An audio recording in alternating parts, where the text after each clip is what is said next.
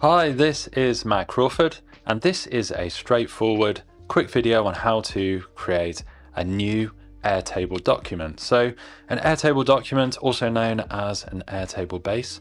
I'm right here on the main kind of dashboard home page of my particular Airtable here, so you can see some of my existing data uh, databases, some of my existing bases right here.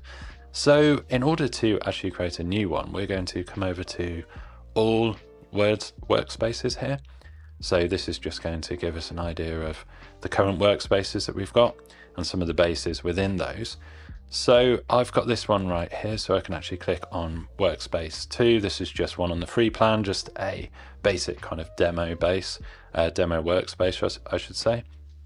So in order to create a base, we're going to click on create at the top here. And then we've got this AI version here, which is new, uh, that Airtable have started uh, doing because obviously everyone's doing an AI tool now.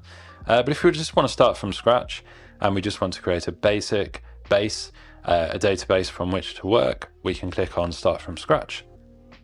And that is going to open up this right here.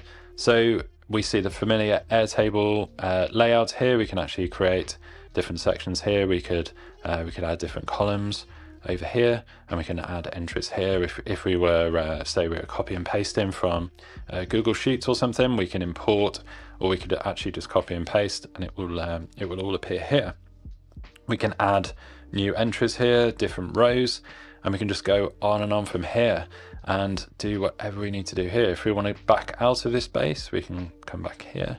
If we wanted to enter that base we've got that base there but yeah, hopefully that was uh, very straightforward. That was just a super simple way to actually create a base and actually get started using Airtable, creating a document, creating what they call a base, or at least they used to call a base. I think they're calling it something different now.